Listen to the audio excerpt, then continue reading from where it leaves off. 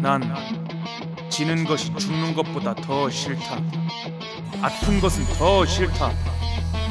그래서 난 당하기 전에 먼저 이겨버린 그것이 오늘의 나를 있게 했다.